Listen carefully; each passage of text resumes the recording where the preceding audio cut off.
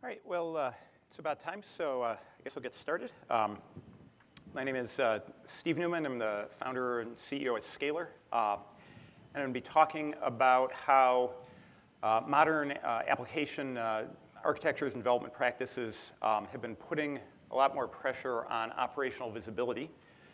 Um, how we can look at operational visibility effectively as a, a, big data problem, although with some interesting and unique aspects. And, um, and then I'll wrap up with some uh, fun engineering challenges uh, that, that we've been tackling here at Scalyr um, to kind of address that, that big data problem. So uh, at the heart of all this, um, you know, a lot of modern, modern uh, practices, uh, the cloud, you know, tools and, and platforms and things like the cloud and Kubernetes and microservices and, and serverless functions as a service all of these things abstract away a lot of the work that uh, previously were necessary to, to run an application, a website, what have you. Um, and there's, uh, of course, a lot of value in that. But um, you know, problems that, that get uh, pushed down in one place have, have a way of, of sneaking back in another. Uh, and, and that's going to be a, a lot of what I'm going to be talking about. So um, just for a little perspective, uh, imagine uh, you're running some kind of a, an e-commerce site, maybe you know in the late 90s during the original uh, you know, Web 1.0.com boom. Um, so the you know it might not have been hugely complex. Uh, you know maybe you'd have you know a dozen components to the, the system you're you're running. Uh, you know a web server, uh, probably a MySQL database, uh, some kind of payment gateway, an email server, and so forth. Um, but you're investing a lot of work into each one of these components, probably up to and including you know, literally going in person physically into a data center and, and racking servers, as well as deploying the software and you know, everything about those components uh, your team is, is doing themselves. Uh, fast forward uh, a decade or two, uh, and the picture looks very different. Um, you know, a, there are much higher level services available. Instead of you know, building your own payment gateway, you can use a service like Stripe. Uh, you're certainly not racking your own, your own servers. Uh, 99 times out of 100, you're, you're getting them from a cloud provider. Uh, you know, you can uh, have a, a, database service instead of installing your own database somewhere. Um, so, you know, a lot of, you know, a lot of that work has been abstracted away. But it's interesting to, to keep in mind that the number of components in your system hasn't gone down. In fact, it's probably increased. Um, it's just that a lot of it is now hiding behind an abstraction boundary uh, where you don't have to worry about it as directly.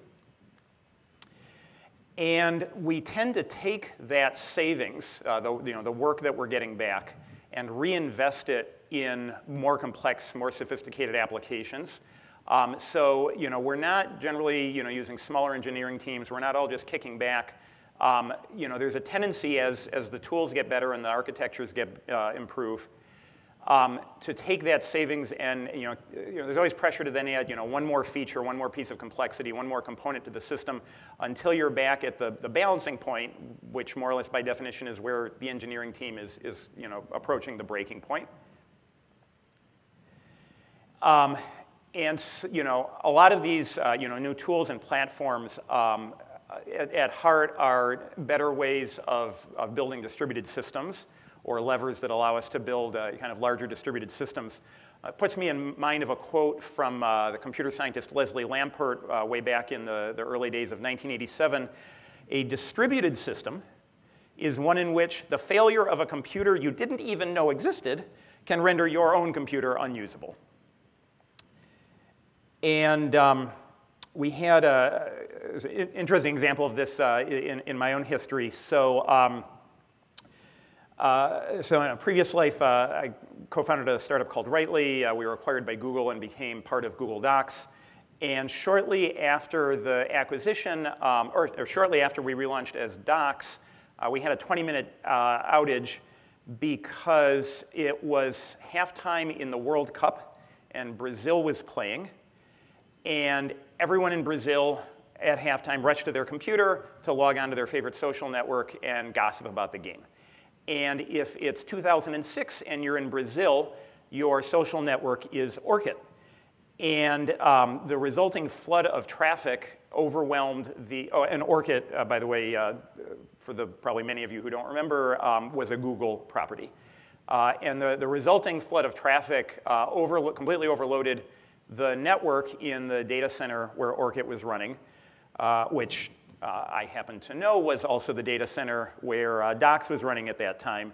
Uh, and there was just nothing to be done. We were, we were down until, um, until halftime ended, uh, at which point we, um, uh, we frantically moved, flipped out of that data center into our backup data center, which unfortunately we weren't able to do until we had the connectivity back. Um, but the, you know, I have fun telling this story just because it's just such an absurd example of you know a butterfly flapping its wings and you know knocking knocking a service down. But um, you know, it wasn't much fun at the time. Uh, you know, Mark Twain said, uh, "Tragedy or humor is tragedy plus time." And uh, so, you know, this is a fun story for me now, but it's, you know, it's also, I think, you know, just a great example of how, as systems get more sophisticated and more complex and more interconnected, uh, it, it, creates more and more places for problems to sneak in. And um, so, uh, you know, kind of, you know, taking a look at the big picture, um, you know, all these modern architectural trends, again, you know, cloud and Kubernetes and so forth, um, they're allowing us to build more and more complex and sophisticated applications. Uh, meanwhile, uh, techniques like agile development and CI/CD and so forth uh, are increasing the velocity at, at which we can uh, evolve these applications. Um, and, one, and, and this creates a, a classic pick two trade-off, uh, in this case against quality. Uh, and by quality, I mean uh, you know, that can manifest as, as downtime, as, as bugs, as performance problems. Uh, but in general, you know, a, a more sophisticated, fast-moving application tends to spawn ever more sophisticated and, and fast-moving problems. And, um, uh, and, and so, you know, we're kind of reaching a point where, where every day is, is halftime at the World Cup. Now, where the, you know, a pick two trade-off is not literally, okay, you can have that one and that one, and then you don't get any of the, of the third one. Um, these are all, you know, kind of adjustable trade-offs. As you get, it, you know, you push a little bit harder on the sophistication of your application, uh, you know, you get a little bit less quality, a little bit more problems. And kind of the, the coefficient of where those things trade off against one another uh, and, and to what degree they trade off has a lot to do with the tools you're using, uh, in particular the observability tools, which are what are going to allow you to, uh, you know, to, to deal with these problems as they arise. And um, you know, a, a, good tool can help by, um, uh, first of all, hopefully when you have a problem, helping you to, to track down and fix that problem faster. Uh, so you know, that directly affects your, your mean time to resolution. Maybe you have just as many problems, but the aggregate amount of harm they cause is less because you're, you're stomping them out more quickly. Um, ideally, good tools can, can actually give you the visibility to, uh, to spot pro impending problems. You know, notice that that queue is filling up, but is not yet full, uh, and is not yet affecting customers. But you know, if you can spot it at that point, then you can do something about it um, and you have no mean time to recovery because uh, you know, there's, you've recovered before you, you ever had the problem.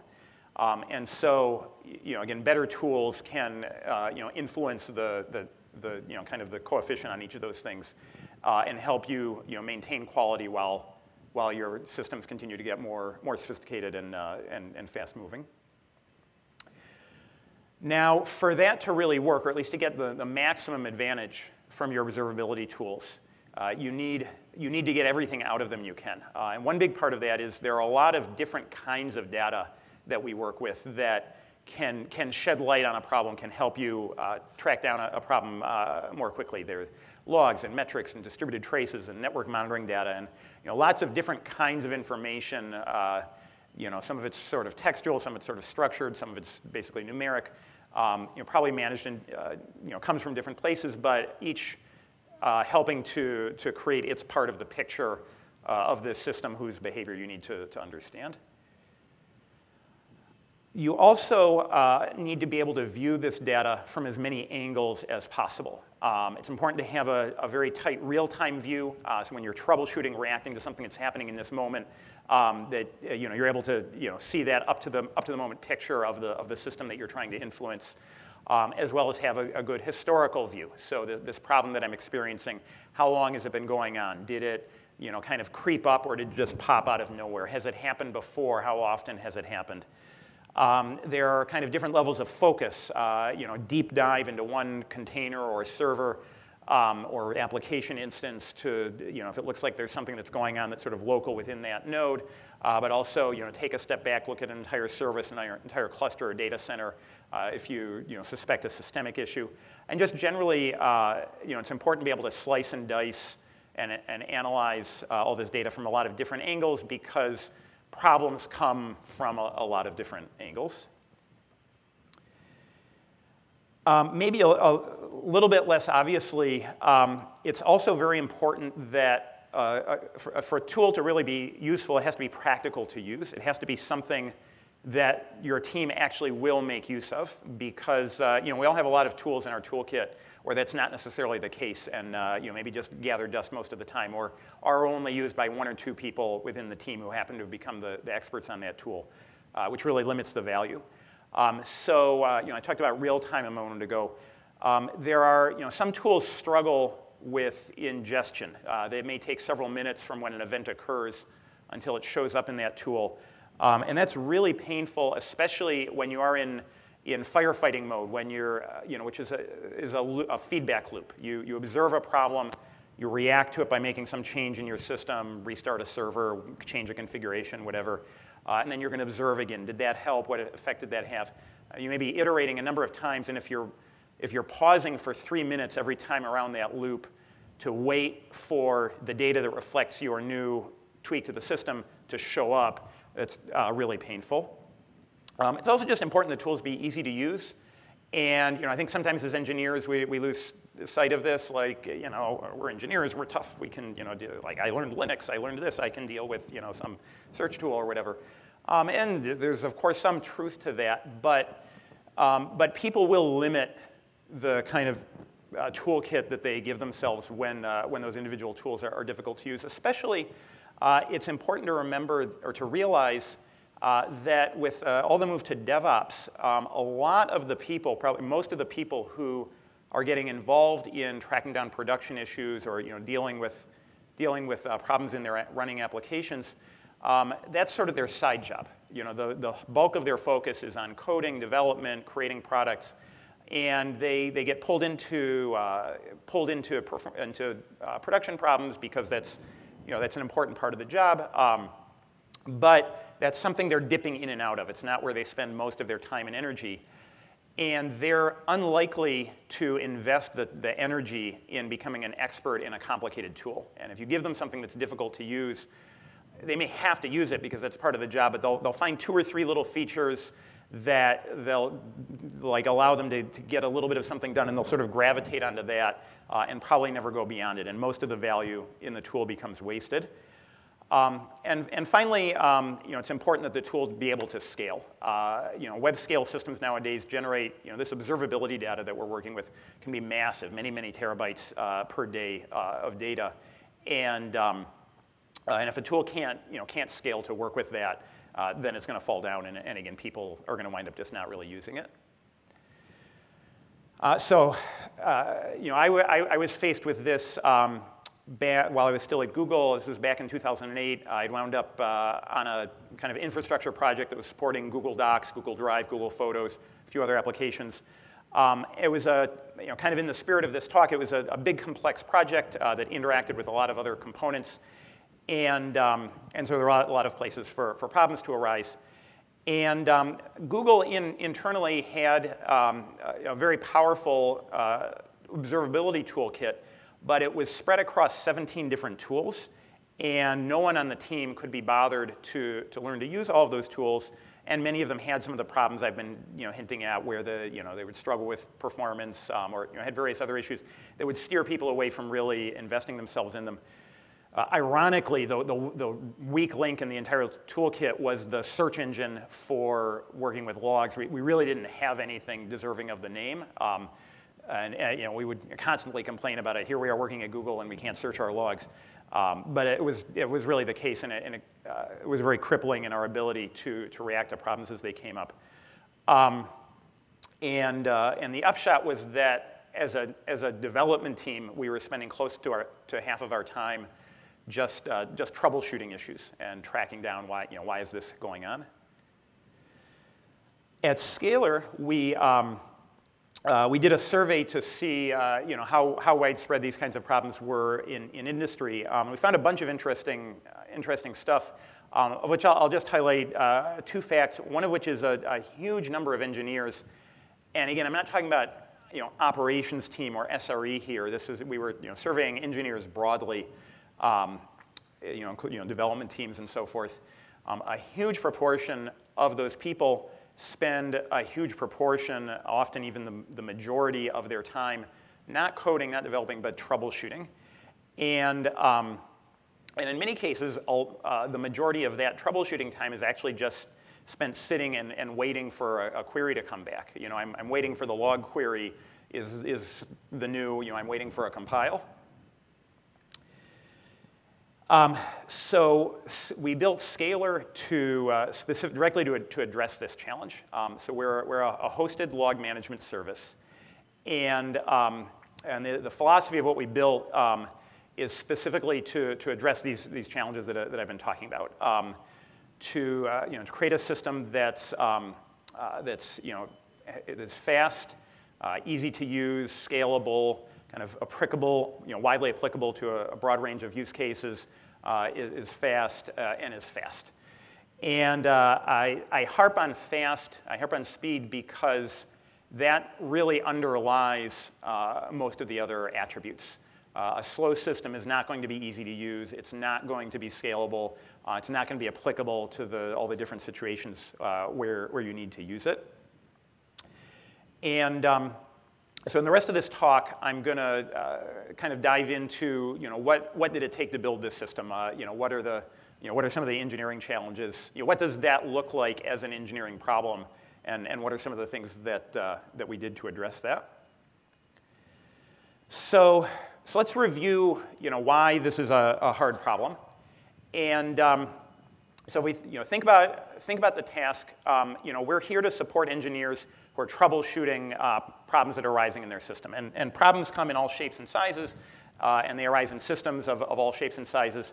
So it's, it's a big data problem in the sense that the data is big. You know, we have, you know, we may have, you know, again, terabytes of, of you know, of logs and other kinds of, of information that we're working with.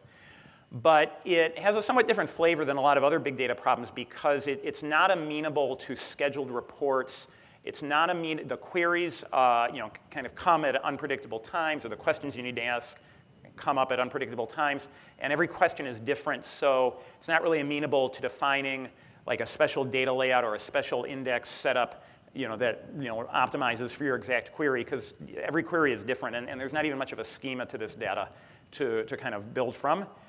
And so you know, we're taking these huge data sets. Uh, we want to run sort of any kind of a query. We don't have much of a schema to work with. Uh, and we'd like to give uh, answers at interactive speed, uh, in like in less than one second. Um, so, you know, may, may, maybe that's a little bit difficult. The traditional approach, um, in particular for, for log management, is to use a, a keyword index. Um, and, and this is sort of, you know, it seems like a very obvious and reasonable thing to do. Logs are text. We are pretty much searching through that text. How do we search text? With a, a keyword index. You know, this tried and true technology. It powers web search. It powers product search on any, e you know, any e-commerce site. Um, you know, it goes all the way back to the, the printed index in the, in the back of a, a reference book. And um, you know, it obviously has you know, served a lot of those applications very well. Uh, I'm going to just very, very briefly review to kind of freshen in our minds how a keyword index works. Um, you have some corpus of documents you're working with, a set of web pages, or in our case, a set of log messages. And um, you're going to find the vocabulary, all of the unique words that appear at least once somewhere in all of that. Um, and for each, each one of those words, you're going to make a list of all the places it shows up. And then when you do a search, uh, you can just sort of consult that, that index. If I'm searching for, uh, you know, for a certain word, I just look in the index under that word, and I find all the places that that word appears. Um, and again, you know, this is, approach has been used for a long time. It's been you know, very optim well optimized, and uh, you know, there's some very sophisticated implementations out there. Um, and they're optimized for the kind of typical attributes uh, you know, of these applications where it's been used. Uh, where usually you're looking for like a best 10 matches, you know, show me the best 10 web pages on this topic. Uh, you're working with a human language corpus where that vocabulary might be a few tens of thousands of words, you know, the same words used over and over and over and over again. You've got relatively large individual documents that you're working with, a, you know, a web page or a product write-up or something. Um, those documents live for a, a, fair while before they're updated or replaced by new documents. Uh, and the queries usually are keyword based. You know, show me everything relevant to, to this three word phrase. But none of these, you know, all of that turns upside down in a log management application. Um, there's, it's never a best 10 problem. There's no show me the best 10 times my server crashed. Uh, whatever you're looking for, you want to find all of it, every access to this system, every time this error occurred, and create some kind of a summary, a graph, or some other visualization. Um, uh, along with kind of you know, real words in there, there are record IDs and IP addresses and, and floating point numbers and all kinds of garbage. So when you're breaking the text up into units, there may be, instead of tens of thousands of unique terms, there may be hundreds of millions of unique terms. Uh, the documents, the units we look for are individual log messages, uh, one line of text, so they're tiny, and there are billions or trillions of them. Um, they don't live very long. You know, you know, every second, millions of new messages may be arriving. Uh, and the, the searches sometimes are kind of keyword-based, but sometimes it's a regular expression or, or a numeric range, like show me all the times that this service took more than one second to respond meaning it took 1,000 milliseconds or 1,001 milliseconds or 1,002 milliseconds. You know, in kind of keyword terms, it's, it, it, you know, it's not really a keyword query. Um, and so all of the optimization and sophistication that has gone into keyword indexes you know, really doesn't help and, and really gets in the way.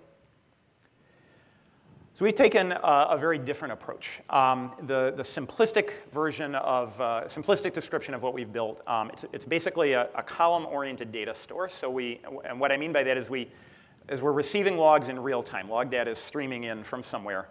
Um, and just for, for illustration, let's say it's a web access log. Um, so each message consists of an IP address and then a timestamp and then a, a, you know, the method name, get or post, uh, and the URL and so forth. Um, there's a, a you know, reasonably regular structure. Um, as the logs come in, we break each message up on those units, uh, and then we store that in a columnar arrangement on disk. So all the IP addresses go into one chunk of disk, all of the timestamps go to a second chunk on disk, and so forth. But we're not doing much transformation. We're not building an index. We're, we're just taking the, the, the text, breaking it up into those pieces, and dumping it on disk. Uh, and when it's time to do a search, we, um, uh, or to execute a query, we just scan the data. And depending on the nature of the query, we might have to scan the entire log, uh, but often we can get away with just scanning a particular column. And if someone asks us something about all the references for a particular URL, then we can just scan the URL column, and we have a lot less data to look at. And what's great about this is it's, uh, first of all, it's very flexible. You know, a lot of different query, you know, we don't have to worry about, well, this query is a good match for the index, but that query isn't because um, there's no index. Um, you know, so we're very flexible in the kinds of queries that we can execute. But maybe even more important, it's, it's very simple, simple enough that we're able to build it from the ground up um, ourselves. And you know, every little coding decision along the way was optimized for the, for the use cases and, and data patterns that you, that you see in these kinds of applications. And to illustrate the importance of that, um, think about you know, old timers like me like to complain about how, you know, my Commodore PET back in 1981 booted up faster than, you know, my Mac or Windows laptop today, uh, even though the processor today is something like 50,000 times more powerful. Uh, and it's true, like, you know, some of those early machines would boot up more or less instantaneously. And the reason is the modern machines are layered down and weighted down with so much more software. Now, there's a lot of value there. Uh, I'm not going to trade back, but um, but that value comes at a cost. And if you don't need the value, if you don't need all of the stuff that this you know, modern, super sophisticated code base is giving you, then you're paying a lot of performance tax and, and not getting any benefit from it. And um, so this you know, very streamlined uh, engine that we've built that kind of only good at one thing, but it's uh, hopefully very good at that thing, can scan data. This is how we think about the performance. It can scan data at about one gigabyte per second per CPU core in our backend system. So each processor core on our search cluster, when it's executing a query, can plow through about one gigabyte per second uh, in this data store.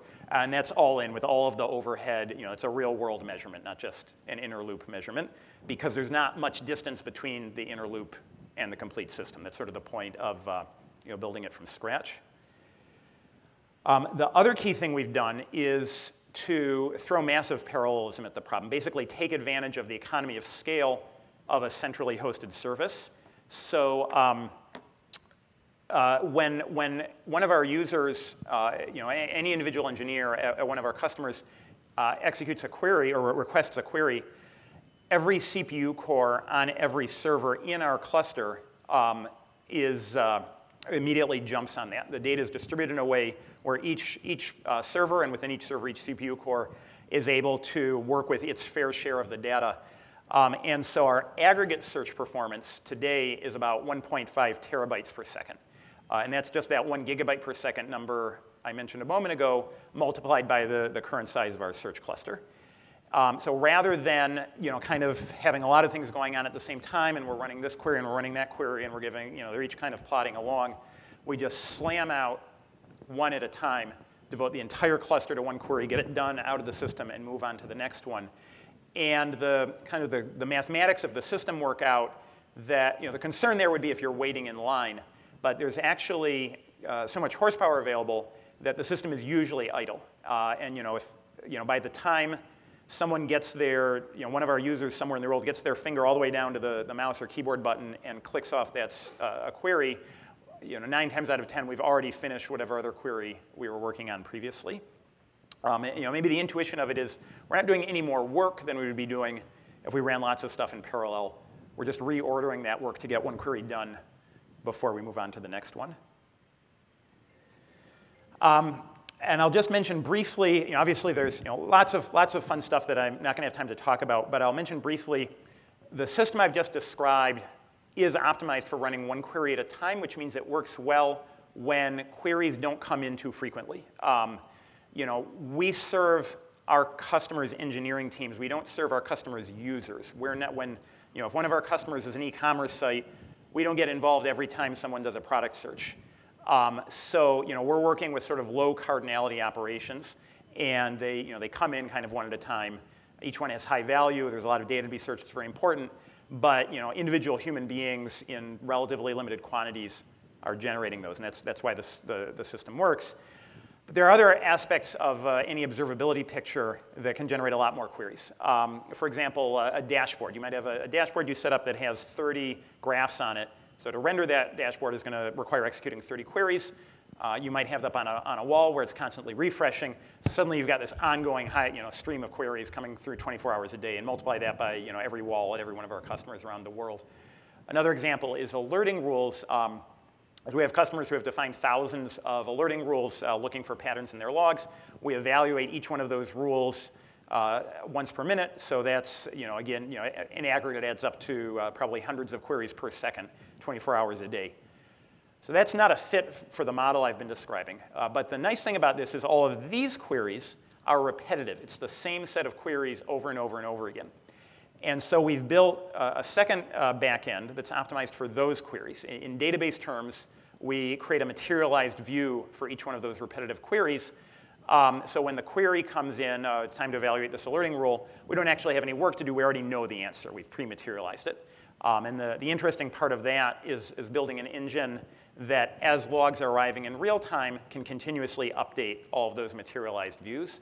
Um, we've built a system around a sort of, that creates a decision tree so it can quickly evaluate for each new log event, uh, you know, is it relevant to any of these standing queries? Um, so you know, back to that 1.5 terabytes per second figure I mentioned, you know, that relates to how the, the size of our system. And uh, so this is a graph that's showing what that performance uh, benchmark has, has looked like over time. So uh, a few years ago, um, I wrote a blog post describing uh, a lot of this architecture. Uh, the title was 20 gigabytes per second, uh, which was the performance of our system at that time and, and was something we felt very proud of at that time. Um, and you know, it's you know, gone way, way up from there, and every quarter it increases just as a natural byproduct of, uh, of how we scale, you know, as, we, as we add customers and, and add to our backend system. And um, this leads to a bunch of stuff that, uh, that I'm just really happy, happy about and, and, and proud of. Um, you know, I've talked about the you know, 1.5 terabyte per second performance that we're at today.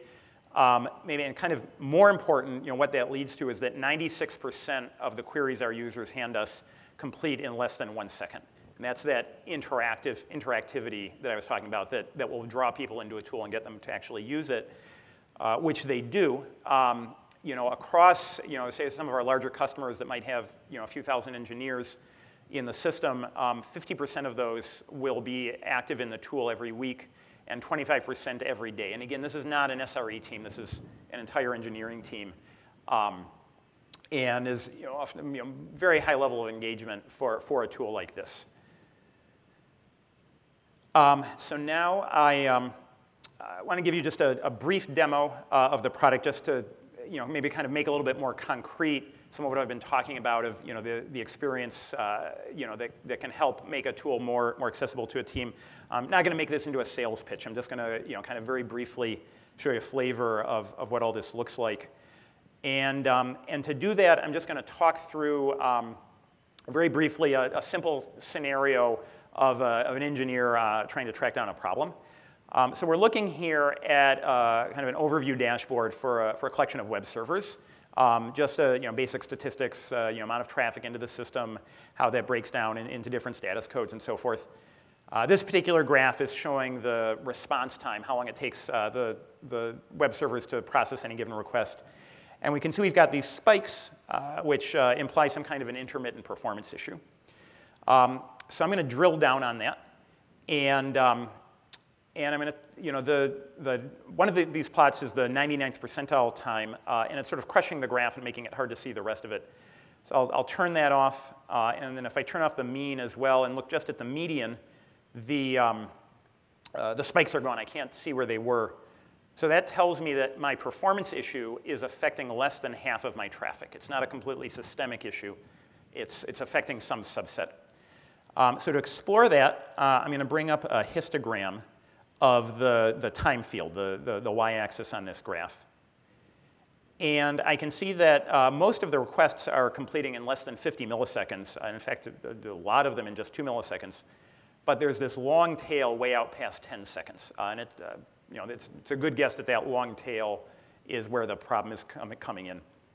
So I'm going to add a term to my query uh, to show only requests that took at least one second uh, and click Update uh, and flip to the, the raw log view. So this is the same data we've been looking at all along, but we're finally seeing it in its raw form. Um, so we've got a bunch of requests, each of which took more than one second because that's, that was the filter that I applied. Um, and I've got a bunch of different tools now for um, kind of ex exploring, exploring uh, this uh, you know, from different angles as I talked about. Uh, but I'm going to I'm to pick a particular one, uh, which is uh, these logs incorporate a trace ID uh, that shows, you know, kind of identifies each request as it flows through the system. I'm going to click on one of those trace IDs and run a new search just across all, a very simple query, all servers, all logs, show me everywhere that trace ID appeared.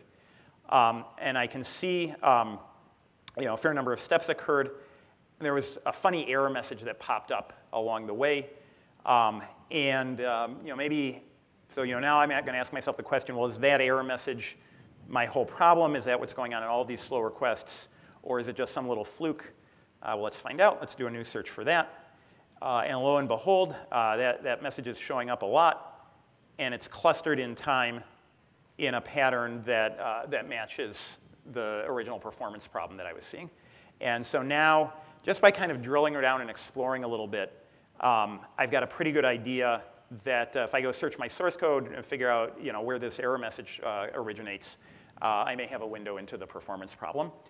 Um, and the point uh, you know, that I try to draw from all of this uh, is um, you know, kind of illustrating some of what I was talking, talking about earlier. Um, you know, in that quick little one or two minute uh, dive uh, through that troubleshooting scenario, I pulled up a bunch of different visualizations. I you know, kind of looked at the data from a number of different angles. I you know, pivoted from, a, you know, from a, a latency measurement to an error message.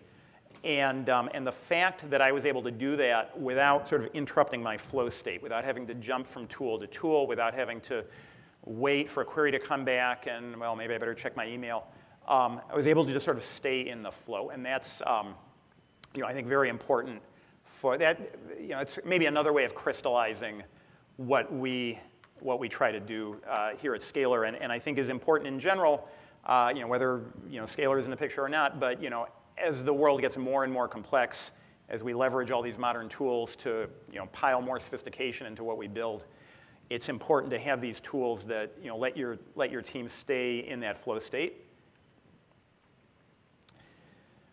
Um, so, uh, you know, thank you for listening. Um, you know, just to kind of in summary, you know, another way I, I think to think about everything I've been saying is about questioning assumptions.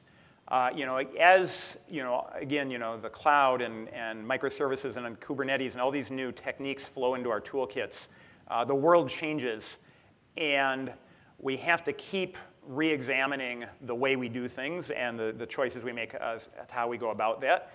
Um, you know, everything from how we architect our systems to how we, uh, you know, how we, you know, in this case, how we think about observability, how we might implement you know, is a keyword index still the right technology? You know, these are specific examples, uh, but you know, I think maybe the, the real point is that um, you know, we do need to take a step back from time to time and question our assumptions about how we're doing things because what really made sense five or 10 years ago uh, may, not, may not make much sense uh, anymore.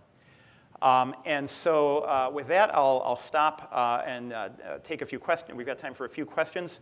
But also happy to, uh, you know, if you'd like to hear more about this or, uh, or just take a look at the product, um, we're uh, over in the hall at, at booth 201.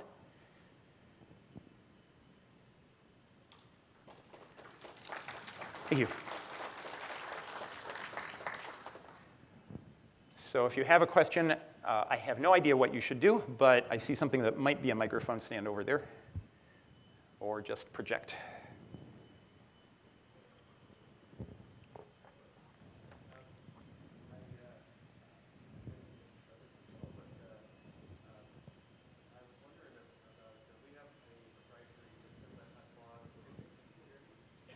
Well, I can hear you, and I'll repeat.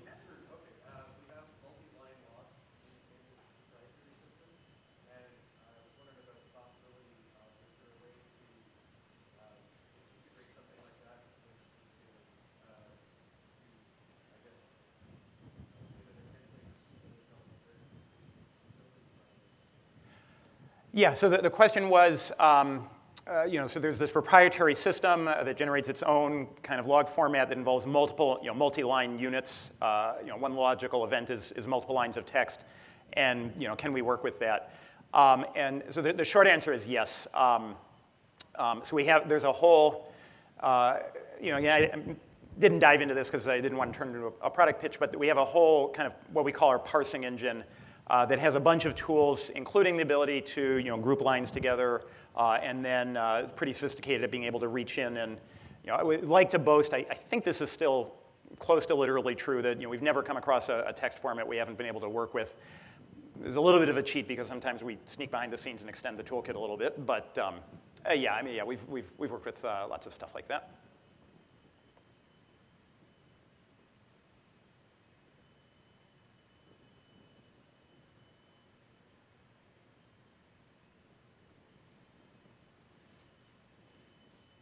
We've got five more minutes, so don't be shy. Uh, yes?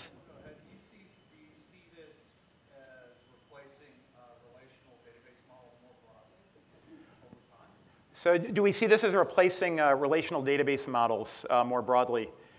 Uh, in general, no. Uh, maybe in some specific instances. Uh, you know, I think the, the technique, you know, this overall approach we've described, we don't build indexes, columnar layout, kind of, you know, parallelism one query at a time, works really well when you have a relatively low rate of queries and the queries are hard to really optimize for because they're ad hoc and come in different shapes and sizes and so forth.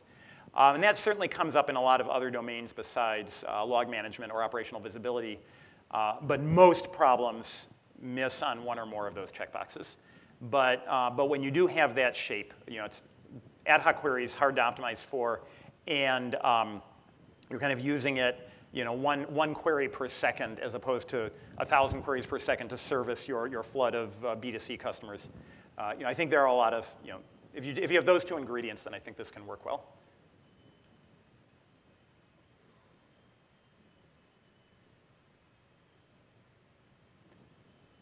Well, um, you know, if there are no other questions right now, then uh, you know, again, thank you, and um, you know, I'll hang around for a few minutes uh, down here, uh, and otherwise, uh, come find us at booth 201. Thank you.